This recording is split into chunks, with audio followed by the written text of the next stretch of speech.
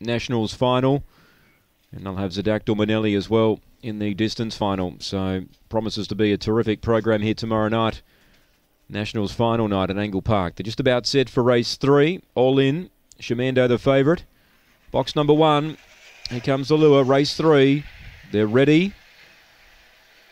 Racing, Shamando hopped out okay. More speed out wide though. Winlock McGregor charges over. Shamando gets into second and chases hard. Three lengths away to Unique Honor on its inside. Phantom Hawk. A gap to El Gazelle. Then came Little Mystic. And as uh, Willow Bubbles and Aztec Viper, the last pair, Shamando got to Winlock McGregor though. Put it away and race clear. Shamando pull, uh, pulls clear to win by four. Winlock McGregor second. Unique Honor third. Fourth might be Aztec Viper from Willow Bubbles. It's a photo. El Gazelle was there.